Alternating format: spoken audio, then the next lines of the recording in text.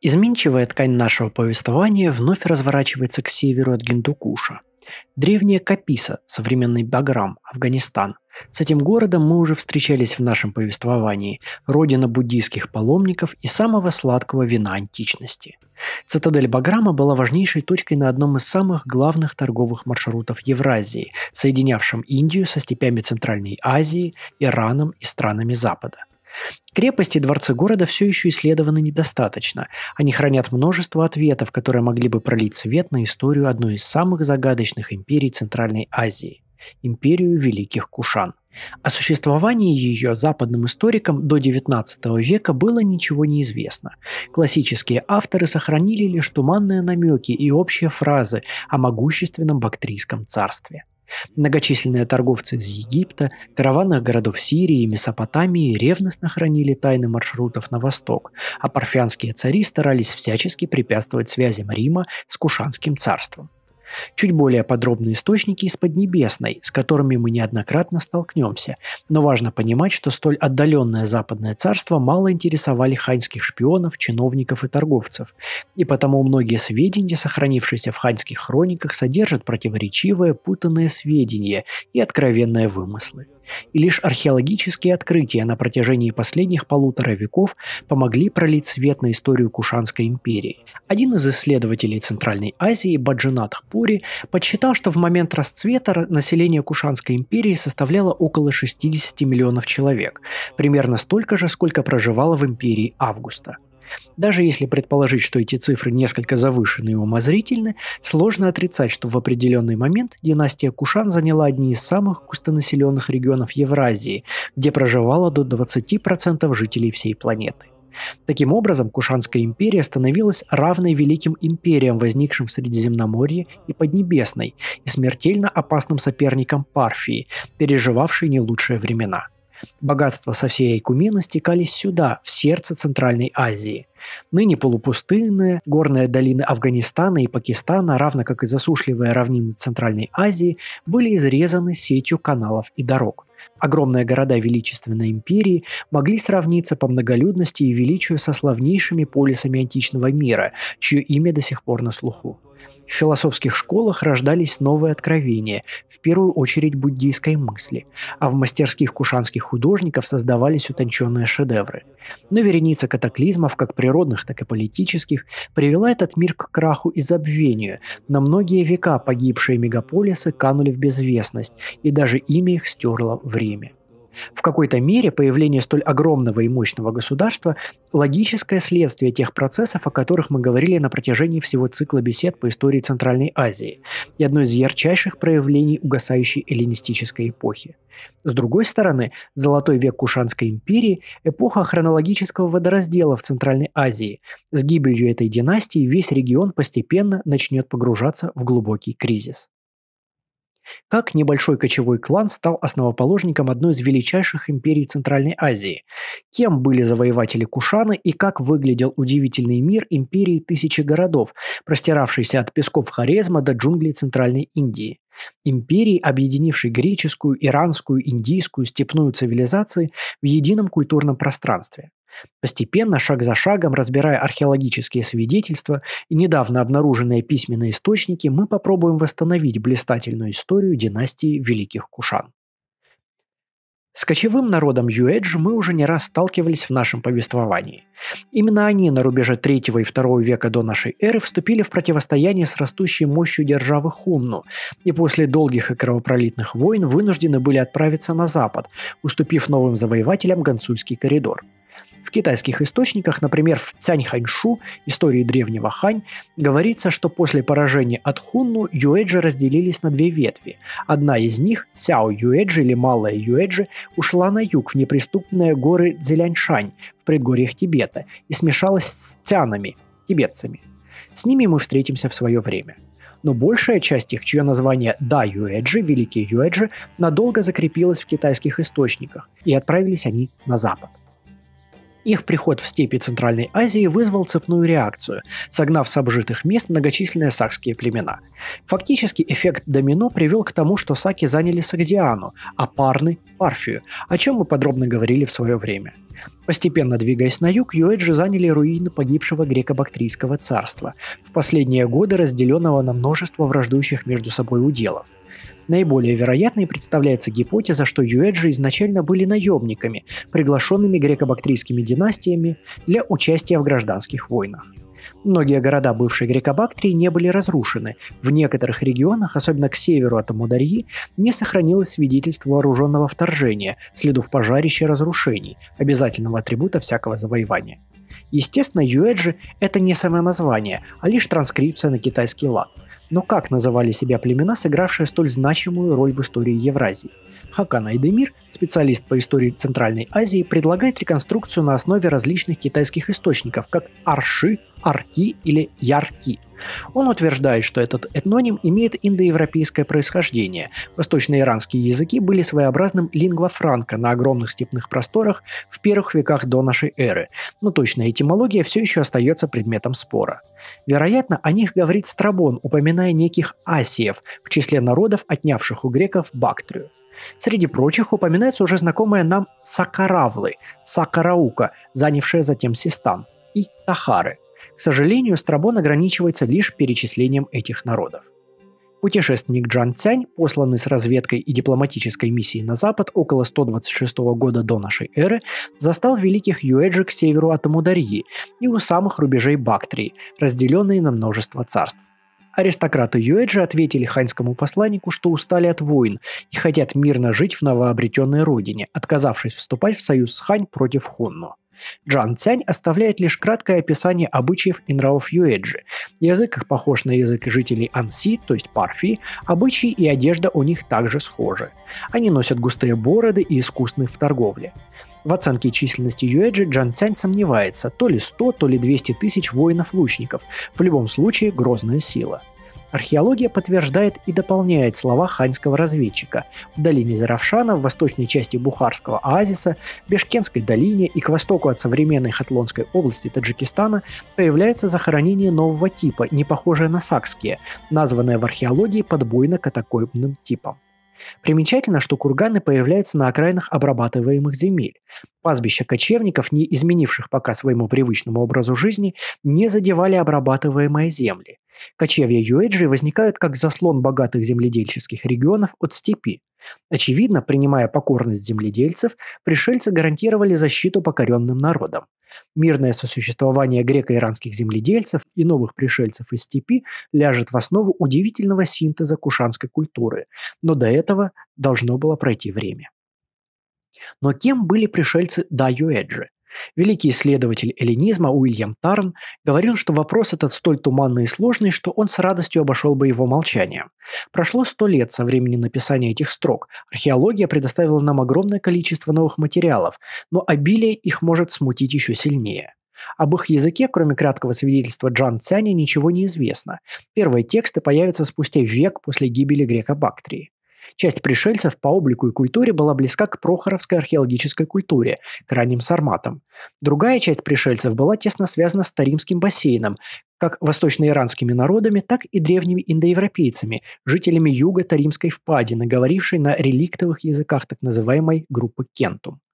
Кроме того, в некоторых могильниках появляются носители монголоидной внешности и генетически связанные с Алтайским регионом. Правда, из нескольких сотен могильников Северной Бактрии лишь в двух захоронениях Руктауском могильнике Хатлонской области современного Таджикистана черепа отчетливо монголоидные. Генетические исследования погребения этого периода Заравшанской области показали еще более пеструю картину. Среди захоронений самого раннего кушанского периода встречаются как выходцы из земель современного юго-восточного Казахстана и Западной Монголии, так и потомки древних восточноевропейских охотников-собирателей до индоевропейского населения степных просторов. В оседлых погребениях Северной Бактрии, помимо очевидных выходцев из Иранского Нагорья, значительную долю представляют потомки жителей Восточного Средиземноморья, Анатолии и Кавказа. Вероятно, колонисты, наемники и переселенцы, поселившиеся в Бактрии в ахименитское и эллинистическое время. Подробности и детали приведенных исследований, как обычно, в списке литературы в конце видео и в ссылке в описании. Пока же подчеркнем самое важное. У истоков Кушанской империи были народы невероятно пестрые по своему происхождению, многие из которых были согнаны с привычных мест волной переселений, и выходцам из различных регионов приходилось искать общий язык. Кроме того, в культуре и традициях переселенцев из Великой Степи проявилось влияние их заглятых врагов Хунну, которое подтверждается как археологическими находками, так и более поздними изображениями. Восточное влияние проступает в особом обряде, с которым мы будем регулярно встречаться в истории Центральной Азии, но юэджи были первыми, кто принес его на земли Северной Бактрии. Некоторые черепа искусственно удлинены. При рождении голову ребенка перетягивали шнуром, деформируя кости черепа.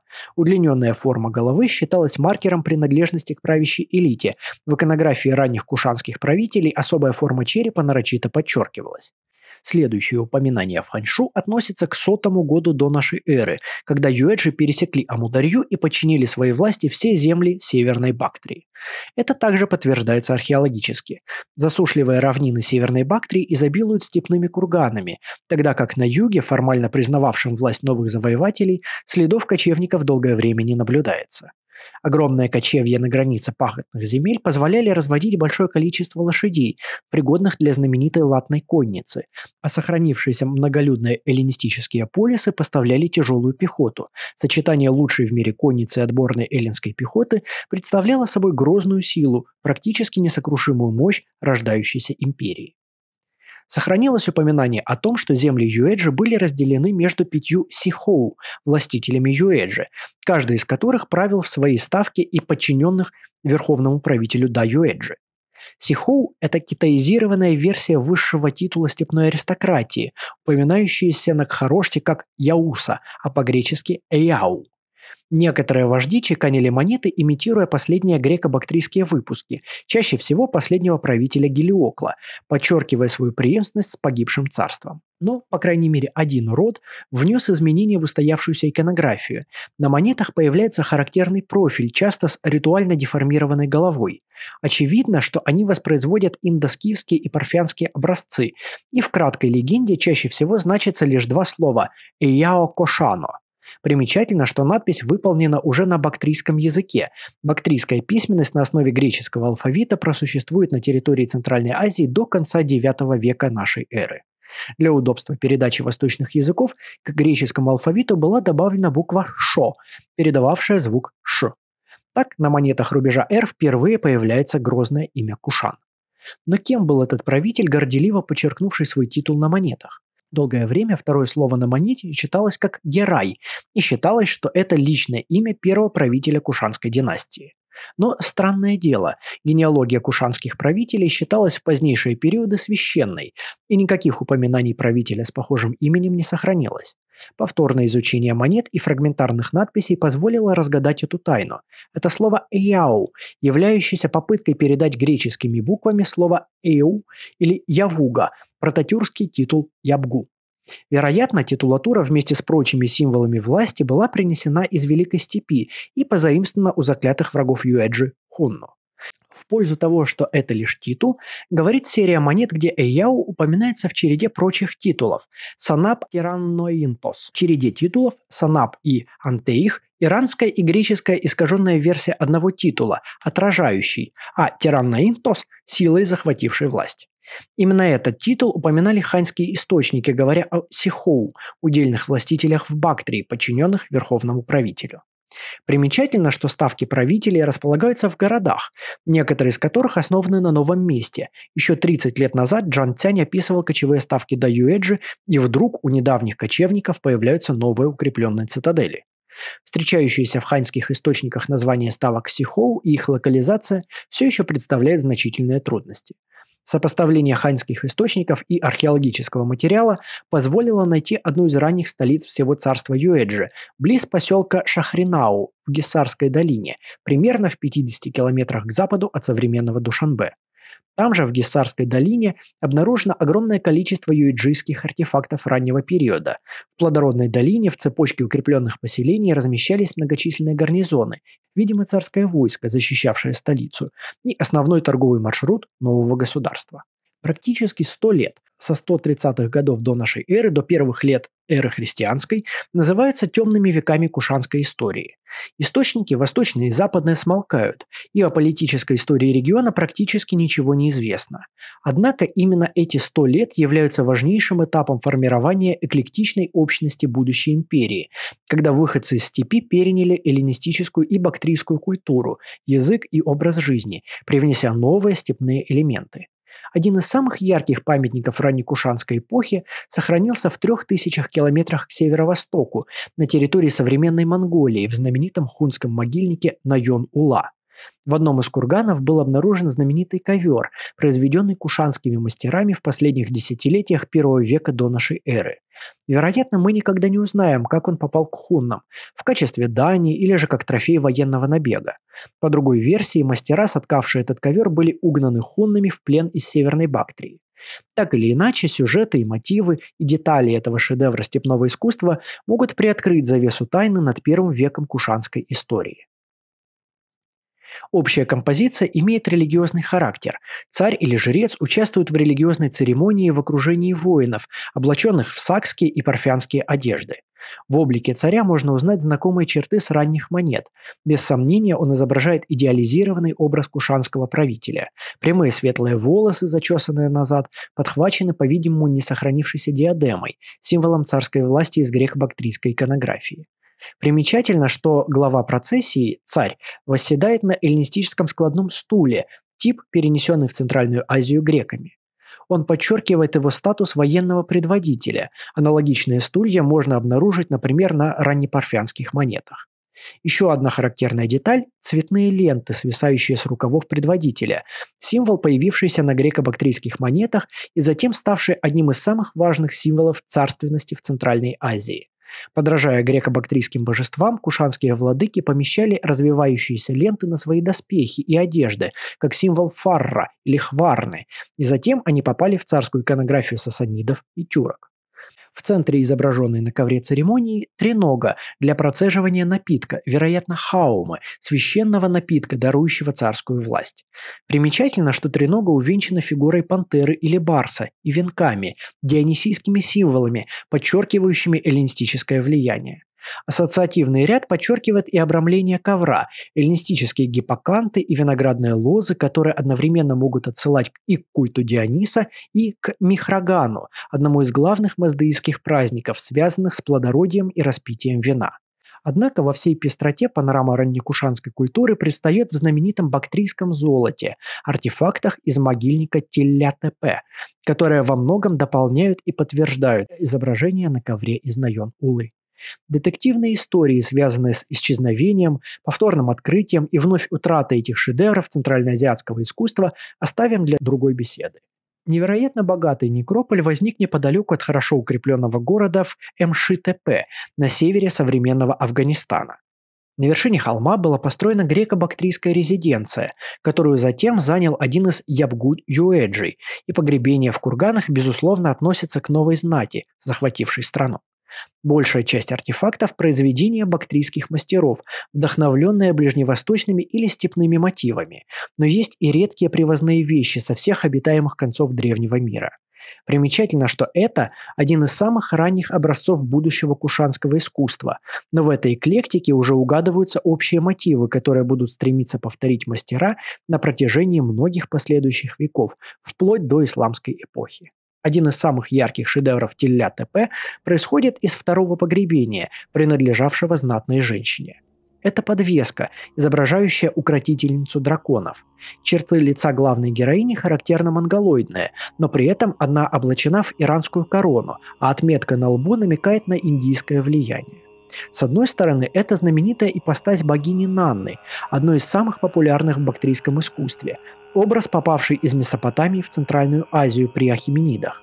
Месопотамская ипостась Инанны Иштар, как богиня любви, плодородия и воскрешения, проникла в Бактрию при Артаксерксе, который посвятил ей в Бактрах великолепный храм и монументальную статую. Для маздеистских подданных она соотносилась с богиней Ардвисурой Анахитой, богиней вод и плодородия. Так, в Бактрах родилось синкретическое божество, одно из самых важных в религиях Центральной Азии вплоть до исламского периода и даже после него. Даже в современном пашто слово «нави» – «невеста» происходит от имени этого божества – как богиня плодородия, она выступала в роли божества, усмиряющего силы стихии, побеждающего дикие неосвоенное пространство, населенное злыми духами, зверями и воинственными племенами. Вместе с реками и рукотворными каналами она приносила на освоенные земли цивилизацию, порядок и царскую власть. Поэтому в обществах, находившихся на границе освоенных земель и полупустынь, ведущих постоянную борьбу за орошаемые земли, благословение этой богини было столь важно. Впервые как укротительница диких зверей, драконов или львов, она появляется в средневавилонский период. Затем мы можем ее встретить на ахименидских печатях, где Нанна восседает на льве – на раннесредневековом изображении из Хорезма Нанна держит в руках гранат и луну, символы бессмертия, воскресения и божественности.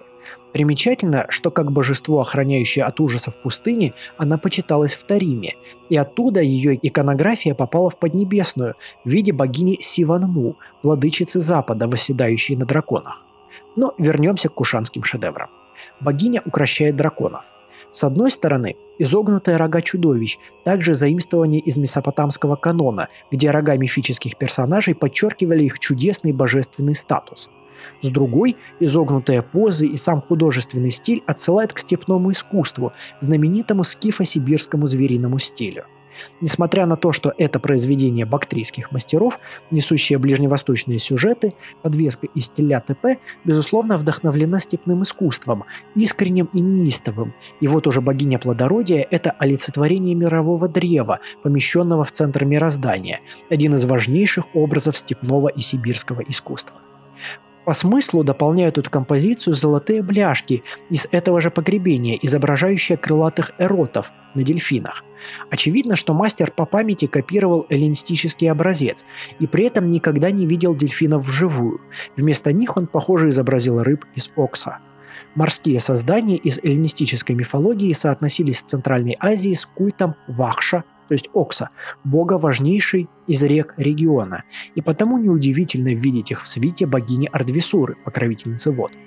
Примечательно, что здесь же, в этом погребении, был помещен перстень, казалось бы, из совершенно иной реальности, изображающий Афину в греко-бактрийском шлеме.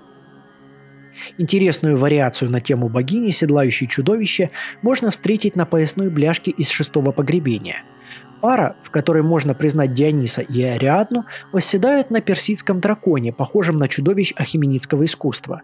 За фигурой Диониса парит крылатая Ника, держащая пальмовую ветвь и благословляющую венком божественную пару, символ успешного похода Диониса на восток, от которого возводили традицию государственности и царской власти греко-бактрийские и греко-индийские колонисты.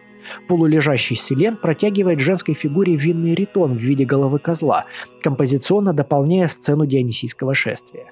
Примечательно, что в этом же погребении встречаются принципиально разные географически, но при этом невероятно выразительные браслеты с головой льва, повторяющие знаменитые образцы ахименидского искусства, и с головами антилоп, ближайшие аналоги которых найдены в могильниках Ордоса и Кореи. Причем, что важно, все они произведены бактрийскими мастерами, а не привезены из отдаленных стран. В четвертом мужском погребении золотые застежки иллюстрируют воинскую моду юэджи. Детали лучше всего видны в прорисовке. Воины облачены в эллинистические керасы и шлемы характерной формы, которые можно увидеть на последних греко-индийских монетах. При этом роскошная перевесь и длинные кавалерийские мечи с рукоятками, украшенными головами орлов, характерное вооружение кушанских воинов-катафрактов, происходящие из Тарима и Алтайского региона. Грифоны у ног воинов помогают дополнить грозный образ. Это божество Арлагна, кушанская версия воинственного Веретрагны, подателя царской власти и покровителя воинов. Примечательно, что в этом же погребении были обнаружены монеты Римской империи, монеты Тиберия, отчеканенные в Галлии, датируемые 21 годом нашей эры. Еще один ярчайший артефакт, обнаруженный в четвертом погребении, это ножны небольшого кинжала скифского типа, подчеркивающий ярчайший синтез различных цивилизаций. Этот кинжал, вероятно, был символом царской власти, одно из самых совершенных произведений во всем могильнике. На золоченных ножнах изображены сражающиеся фантастические существа, крылатые львы, будто сошедшие с рельефов Персеполиса, ханьские драконы, рогатые существа из степных мифов, круговорот жизни и смерти, обвивающий символ мирового древа, на вершине которого дионисийский символ. Рукоять кинжала украшена фигурой медведя, держащего виноградную лозу. Вторые ножны небольшого окинака также изображают сражение между фантастическими существами. Сцена обрамлена индийской свастикой и головами горных баранов, священных животных у кочевников саков. При этом сама форма ножен и узнаваемые фигуры сражающихся животных ближе всего к артефактам, найденным в Монголии и Тыве. Различные реальности подземного мира, мира людей и духов, равно как и различных цивилизаций, встретились здесь, в погребении юэджийского правителя. Интересное восточное влияние проявляется и в бляшках, украшавших обувь погребенного вождя.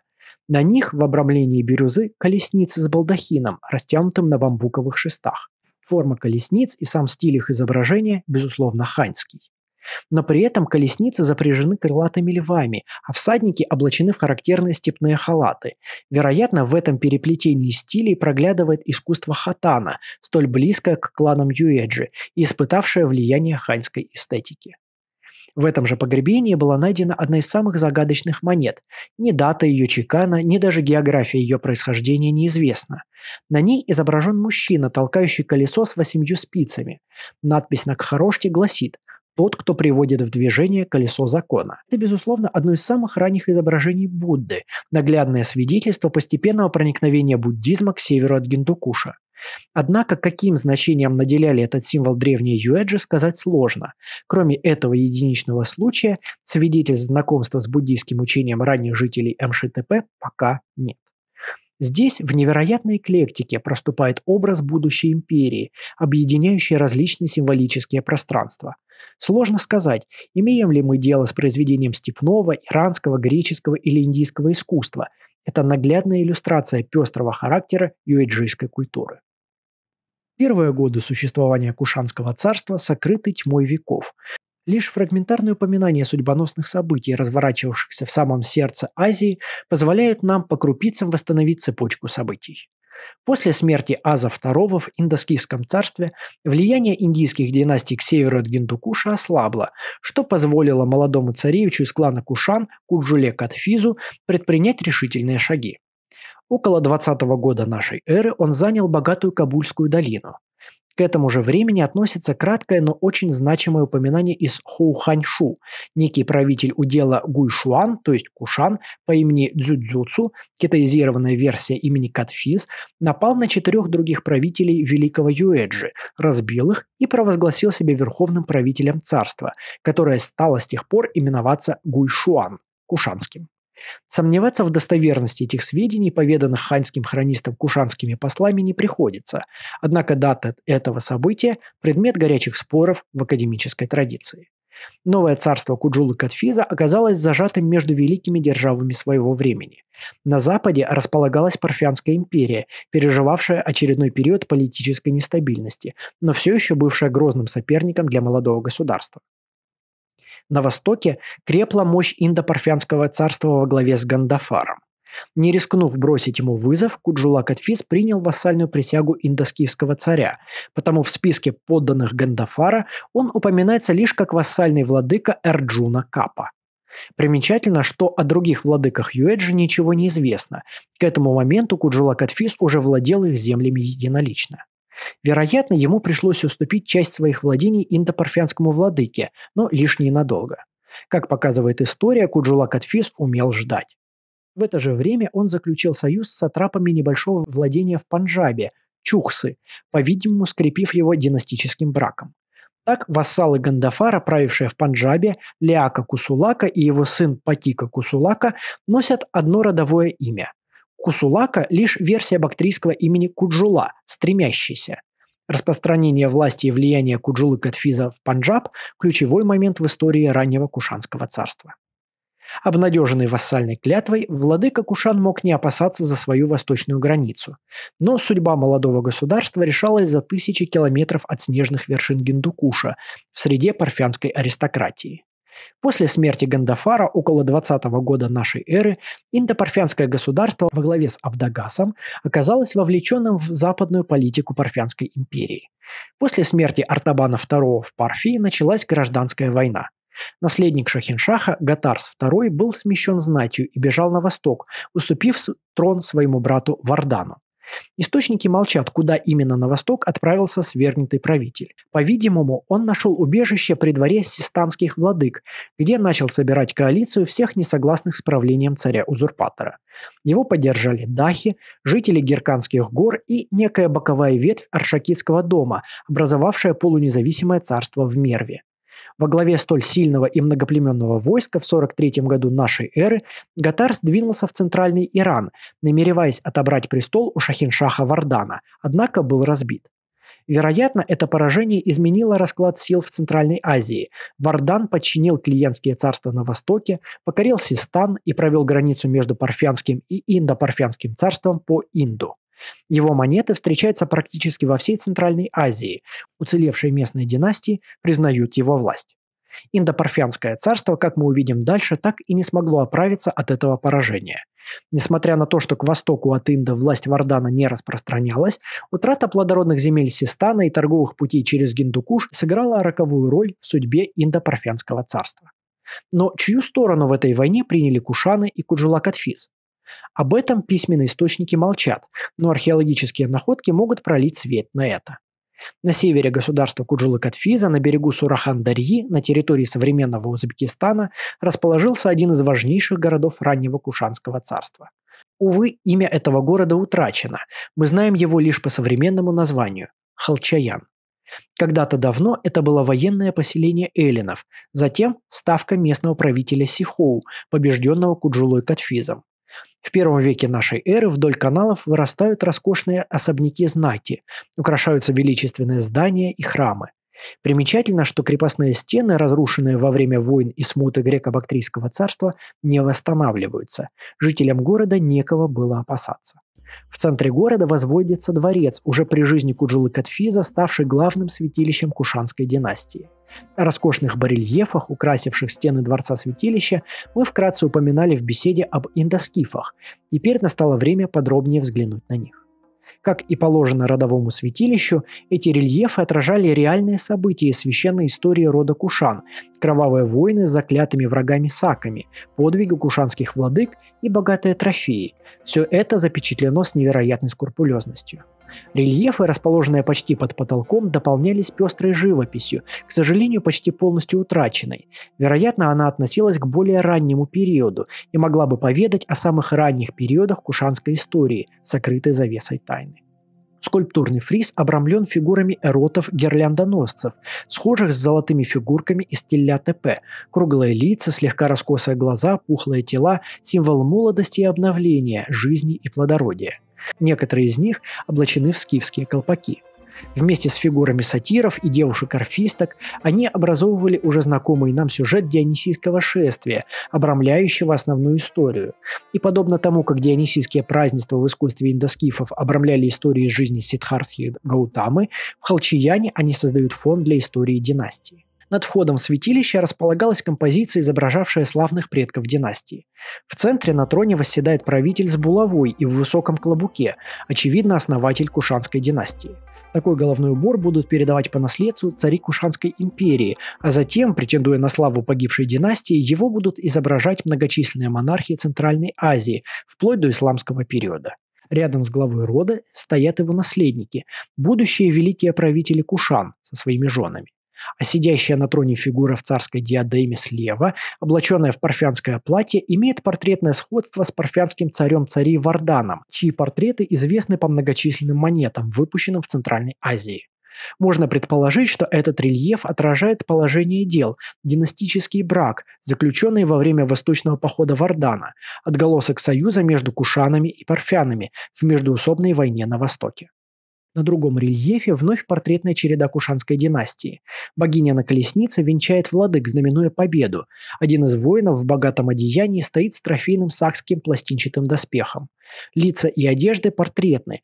Они удивительно похожи на образы, предстающие на самых ранних кушанских монетах и на гобелене из Найон-Ула, изображают, по-видимому, одного и того же персонажа, основателя Кушанской империи.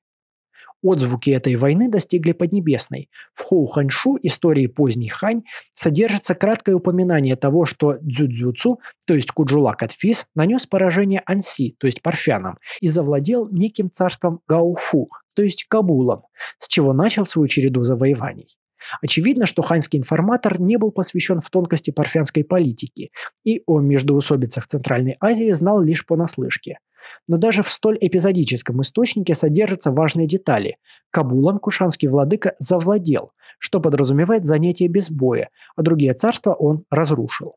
Вероятно, был заключен договор, надолго укрепивший парфяно-кушанскую границу, позволивший новой империи обратить свои взоры на восток, в сказочно богатое государство Индостана и Центральной Азии. После знаменательной войны Куджула Катфис вместе со своими союзниками перешел Гентукуш и вторгся в Индию около 45 года нашей эры, начав постепенно теснить индопарфянских царей. Сначала он захватил Кабул, оттуда раньше всего пропадают индопарфянские монеты. Затем занимает Гандхару. Об этом вкратце упоминает Хоу Ханьшу, заявляя, что кушанский царь вместе со своим сыном Янь Гаоджу китаизированная форма имени Вима Такто, победил Тяоджу, то есть государство северо-западной Индии, назначил наместников для надзора и управления по всей стране. Эта победа сделала царство Куджулы Катфиза величайшей силой в регионе. Ханьские источники упоминают невероятно долгую жизнь первого правителя Кушан – более 80 лет. Конец его правления относится к 80-м годам нашей эры. Он пережил последних индоскифских царей, отчаянно сопротивлявшихся на берегах Инда, и оставил своему сыну Виме Такто огромное богатое государство, раскинувшееся от берегов Сырдарьи до Таксилы. Примерные границы его государства можно очертить по выпускам монет. Изначально он, очевидно, копировал индогреческие и индоскифские монеты, подчеркивая свою преемственность с великими правителями прошлого. На первых выпусках двуязычных монет содержатся ошибки в надписях на кхарошке. Очевидно, что язык новых подданных был чужд кушанским мастерам. Вима Такто довольно долго именует себя просто царем. Однако после решительных побед над индоскифами он перенимает пышную титулатуру. В качестве одного из основных титулов кушанских царей на много поколений делается Дева Путраса, сын Божий, вероятно, калька с ханьского титула Тяньцзы, сын неба. В последние годы правления Куджулы Катфиза его власть признавали западные махкшатрапы, сакская династия, владевшая торговыми городами на берегу Индийского океана. Это, по-видимому, отразилось на принятом полной титулатуре кушанских владык, следовавшей ахименитской формуле Махараджаса Раджатираджаса Девапутаса Кусанаса, великий царь, царь царей, сын Божий, Кушан. Для ираноязычных подданных использовалась бактрийская форма Шаонана-Шао, аналогичная персидскому Шахиншаху. Еще при жизни царя ему посвящались храмы и статуи. В каждом центре провинции возникали здания, именуемые Девакула – дом бога, храмы, посвященные правящему царю и его божественным предкам, подобные храму в Халчияне. Но в пропаганде божественной власти Куджула Катфис пользовался не только иранскими, степными, греческими или китайскими образцами. В конце его жизни появляется довольно обширная серия монет, отчеканенная в таксиле, копирующая римские монеты Августа. Принимается весовой стандарт и стиль изображения. Кушанские монеты украшают портрет римского императора в венке. Торговые связи со Средиземноморьем становились все интенсивнее. Услышав о Великой империи на Западе и ее противостоянии с парфянами, Куджула Катфис провозгласил себя преемником власти Августа. К подобному приему будут не раз обращаться кушанские монархи. Имя преемника Куджулы Катфиза долгое время было неизвестно. На своих монетах он редко упоминает свое тронное имя, предпочитая греческую формулу «Сатер Мегас» – «Великий Спаситель».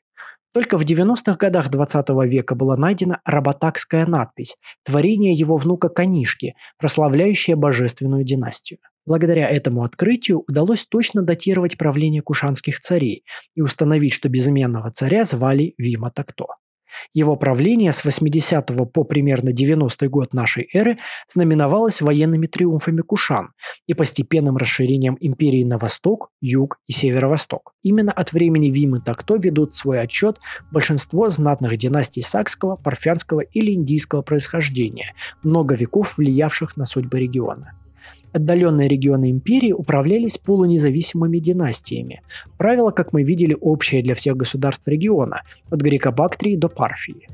Большинство правителей носили персидский титул Хшатрапаван – хранитель царства, его эллинизированную версию Сатрап или его сакскую версию Кшатрапа – Одной из самых значимых династий, принявших подданство Кушан, была династия западных кшатрапов, владевших Гуджаратом и богатыми торговыми городами на побережье Индийского океана. Они были смешанные сако-парфянского происхождения, вероятно, из нескольких родственных династий. Греко-индийская экспансия к берегам Индийского океана соединила отдаленные регионы Индостана с Ираном, Аравией и Средиземноморьем – Незначительные прежде прибрежные города превратились в могущественные торговые центры, самым знаменитым из которых стала Баригаза, современный Пхаруч в штате Гуджарат. Важнейший торговый мегаполис быстро стал центром наук и искусств. В торговых факториях поселились многочисленные иностранцы. Мастера из Средиземноморья трудились при дворе кшатрапов недалеко от побережья, в Миннагаре. Примечательно, что здесь найдены утонченные изделия из Египта и Средиземноморья, вероятно, подарки или налоги царским наместникам. Одним из самых неожиданных предметов ввоза в Центральную Индию из Средиземноморья оказались рабы. Сделки по покупке рабов у яванов засвидетельствованы в остроконах, найденных на берегах реки Кришна, реке, отделявшей владение западных кшатрапов от владений южноиндийских царств. Впрочем, индоримская торговля – тема для нашей следующей беседы. Примечательно, что сакские кшатрапы поддерживали тесные связи не только с западными регионами Южной Аравии, Ирана, Месопотамии, Сирии и Египтом. Их усилиями началась активная колонизация Индокитая. Вероятно, именно подданные западных кшатрапов первыми прошли по морскому пути из Индии в Поднебесную. Яванская легенда рассказывает о неком Аджи Сака, то есть царе Саков, посланных на остров Яву сражаться с царем демонов, и от него, как полагается, ведет свое основание цивилизация Нусантары. Безусловно, это легенда, но имеющая под собой реальные основания. Монеты кшатрапов находят на островах Индонезии, и именно искусство западного побережья Индостана оказало влияние на раннеяванское зодчество. Огромное богатство и приток средств привел к процессам централизации. Вдоль побережья возникают могущественные царства. Соперничество между ними было не избежать. К последним годам жизни Куджулы Катфиза относится правление могущественного Нахапаны, чье имя на сакском означает «защитник рода». По-видимому, он стал вассалом Кушан, поскольку большая его часть монет содержит кушанский чекан, признак вассалитета. При этом царская власть практически не вмешивалась в сложную политическую игру, которую вели западные кшатрапы за господство над Центральной Индией. В ряде успешных кампаний он потеснил могущественную и древнюю династию сатаваханов, упоминаемую в Пуранах, захватил северную часть плато Дикан и горные перевалы, единственный путь, по которому можно было попасть с побережья в центральную Индию. Сакскими войсками командовал зять Кшатрапа Нахапаны Ришабхадатта. В своих надписях в пещере Нашик он гордо провозглашает себя Саком, мужем царской дочери. В прославляющей его надписи говорится о его триумфальных победах над Малавами, разбежавшимися лишь от приближения его ратей. После чего Ришабхадатта обязал 16 деревень направлять свои налоги на поддержание культа богов и содержать брахманов. Далее следует долгое описание благоустройства новозавоеванных земель Центральной Индии, строительство колодцев и садов, наведение бесплатных паромных переправ и строительство укрытия от дождя вдоль дорог и бесценный дар, изысканно украшенная пещеры для буддийской общины. В комплексе пещер Нашек лишь одна относится к периоду правления западных сатрапов, относительно скромная Нахапана Вихара, общежительная обитель буддийских монахов. Рядом с ней была заложена еще одна пещера, однако ее изначальный облик утрачен. Роскошные барельефы и украшения капителей относятся к более поздней эпохе. Особый интерес представляет посвятительная надпись, современная завоеванием западных сатрапов. Эту пещеру посвятил некий Индрагнидатта, сын Тхамадевы, по его словам, вдохновленный истинной религией и с целью почтить всех Буд, дарованных Сангхе. Даритель называет себя северянином Еваной, то есть греком, из Даттамитри, Димитриополиса, Варахозии. Примечательно, что спустя несколько веков после упадка Грекобактрии эллины все еще продолжали играть большую роль в жизни региона. Во второй половине правления Нахапаны южноиндийские государства, объединенные успешным полководцем Гаутами Путрой, потеснили саков из центральной Махараштры. Гаутами Путра заявляет, что он сокрушил тщеславие кшатриев, то есть наземных воинов, и искоренил династию Кшахрата, то есть кшатрапов. Впрочем, эти победные реляции были далеки от истины. Невероятно тяжелые кровопролитные войны между кшатрапами и царством сатаваханов растянутся более чем на век. Еще одна любопытная династия кшатрапов, возникающая в правлении Вимы Такто, носит название Паратараджей, Возникшее на обломках Индоскифского царства, владение Паратараджей занимало территорию современного Ирано-Пакистанского пограничья в Белуджистане. К сожалению, территория Белуджистана редко упоминается в письменных источниках, и сохранившиеся археологические свидетельства создают интригующую картину иранского буддийского княжества. По-видимому, правящая династия происходила из медийского племени паритакенов, известных у античных авторов. Во времена Ахименидов они были переселены на восток современного Ирана, где с ними встретился Александр Македонский.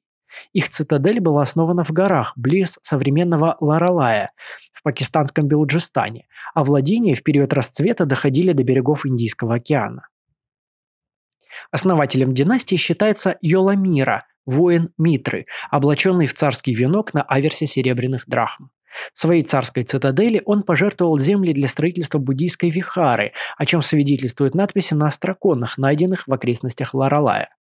По царскому указу эту вихару были приглашены религиозные наставники из буддийской школы Сарвастивада, одно из первых свидетельств буддийской экспансии на земле Восточного Ирана. О приверженности Йоламиры индийской культуре свидетельствует и то, что его сына, преемника царя Параты, звали Арджуна, единственное небактрийское имя в долгой череде правителей царства.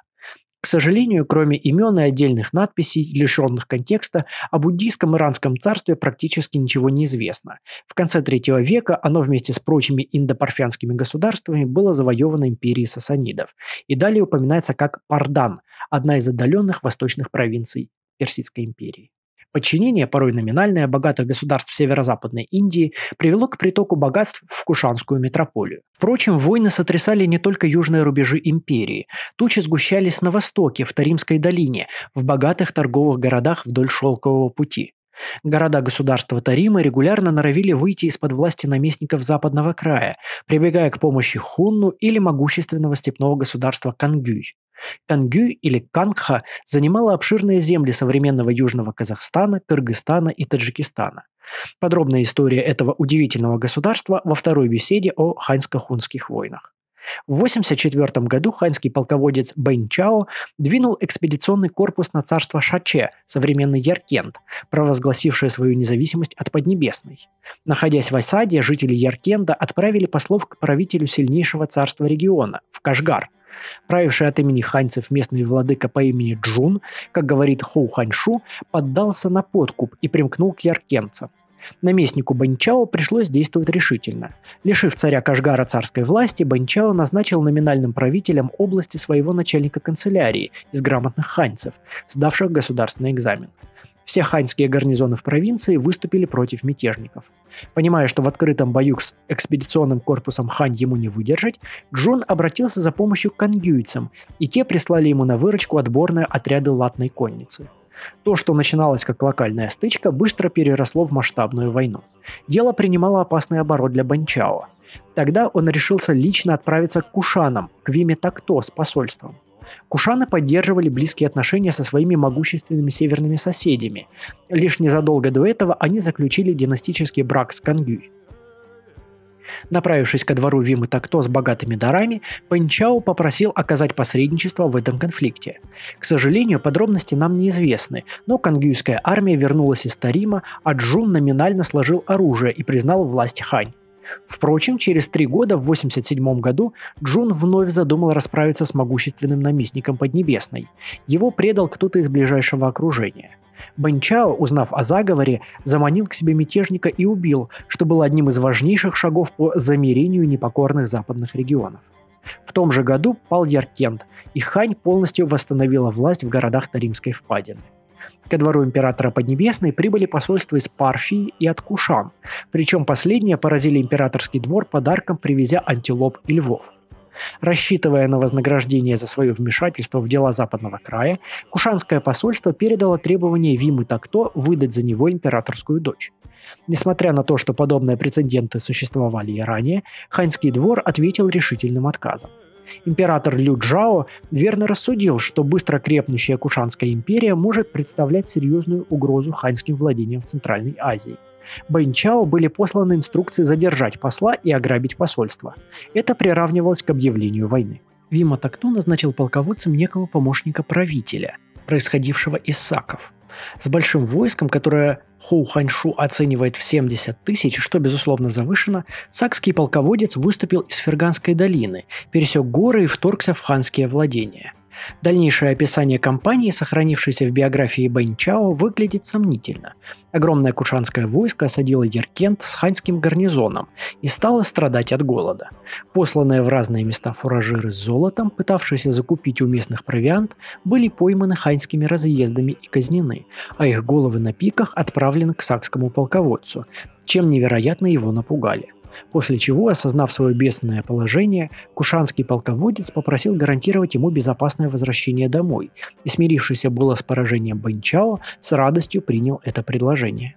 После этого, как гласит Хоу Ханьшу, потрясенные милостью наместника, кушаны ежегодно присылали ему дары.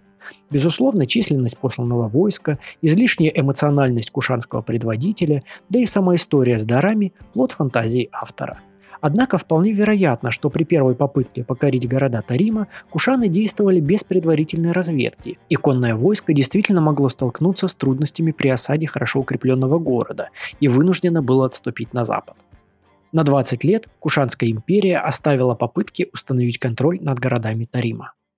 После смерти Вимы Такто около 90 -го года к власти пришел его сын Вима Катфиз, правивший вплоть до 127 -го года. Пожалуй, первым его свершением было завоевание Мадхуры, одного из крупнейших и главнейших центров Северной Индии. Утверждая царскую власть в этом городе, он повелел сатрапу Мадхуры построить Девакула, храм царской династии. При этом сатрап Хумашпала, основавший святилище, был назначен Баганапати, первосвященником, хранителем святилища.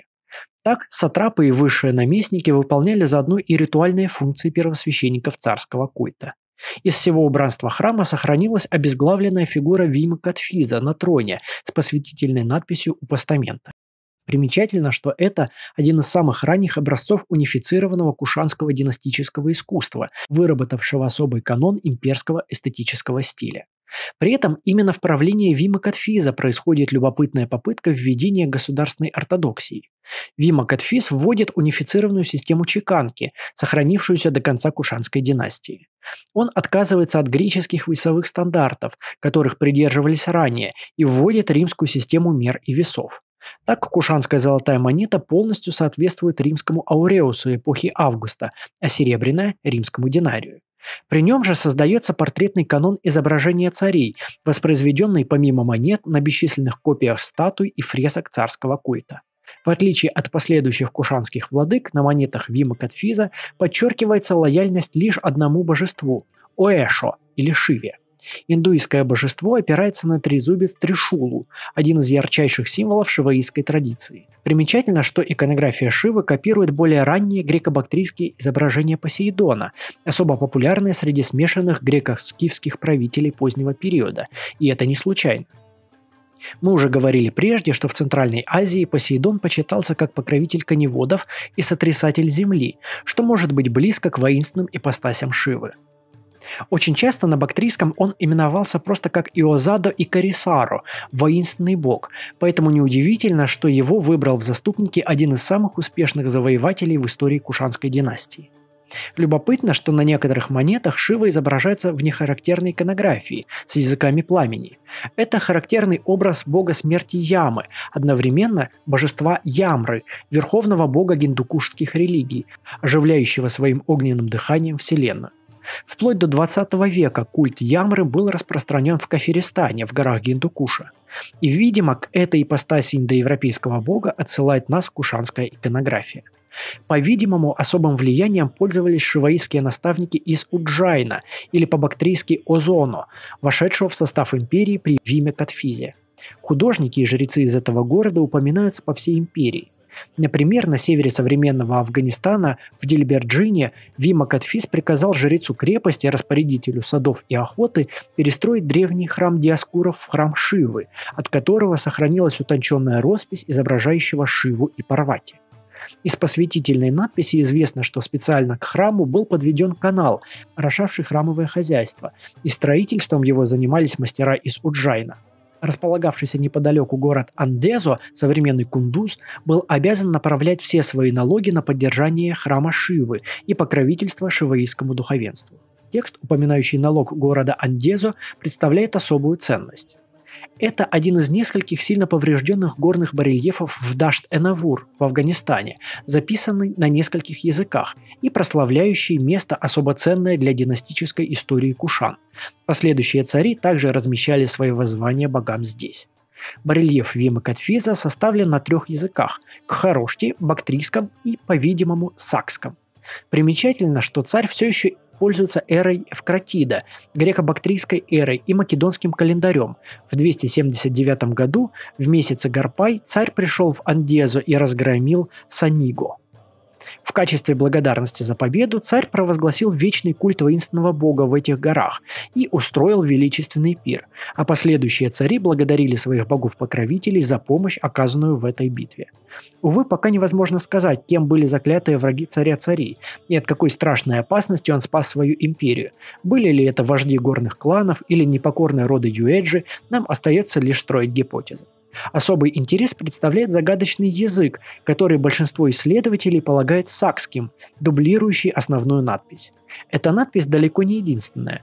Надписи похожим алфавитом встречаются на руинах Айханум, относящиеся к эпохе, когда город только оставили греческие жители. В династическом храме в Халчияне, в Южном Таджикистане, на руинах древнего Мерва, в Пешаваре, в Кашгаре и Хатане. Похожий шрифт встречается в гораздо более ранних находках, надписях на чашах и ссыкских курганах, найденных на территории Южного Казахстана. Однако здесь еще одна загадка. Венгерский лингвист Янош Харматта предложил вариант расшифровки, используя хатано-сакский язык как ключ, однако признавал, что прочтение все еще далеко от ясности. Очевидно, что это разные языки, использующие одну систему письменности. Предпринимались попытки расшифровать эти надписи, используя гораздо более поздние архонские надписи и древнетюркские руны, что также оказалось лишь научным допущением. И лишь в 2023 году, благодаря прочтению бактрийских билингв, найденных на территории Таджикистана, удалось окончательно дешифровать это письмо. Пожалуй, расшифровка этого письма – одно из главных открытий центральноазиатской археологии за последнее время. Оказывается, что это малоизвестный ранний язык, по-видимому, на котором говорили сами юэджи. Он близок к хатанскому или сакскому, но при этом представляет особый этап развития восточноиранских языков. Примечательно, что в основе его записи сильно искаженное арамейское письмо, основное письмо канцелярии региона при Ахименидах.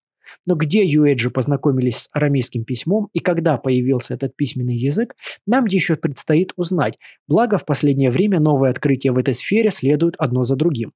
Стоит признать, что стереотип о бесписьменной Центральной Азии постепенно разрушается с новыми и новыми находками. В Кушанскую эпоху в степных просторах к северу от Амударьи существовало как минимум две системы письменности. К концу правления Вима Катфиза его государство простиралось от берегов Амударьи до Центральной Индии. В качестве восточных провинций его государства упоминаются, например, Козамбо, Каушамби, одна из важнейших твердынь индийской истории, расположенная на берегах Джамны, и Кувадиано, царство в Гималаях, один из оплотов последующей экспансии Кушан в высокогорные регионы. Именно через высокогорные регионы, через Каракорум и северные перевалы проходил один из основных маршрутов, связывавших Индию с Таримским бассейном. Центр тяжести империи постепенно смещался к востоку. В Кашмире последнее десятилетие Вима Катфиза правил наследник Кушанской династии, будущий великий царь Канишка. Без всяких сомнений, Канишка – один из величайших правителей Центральной Азии.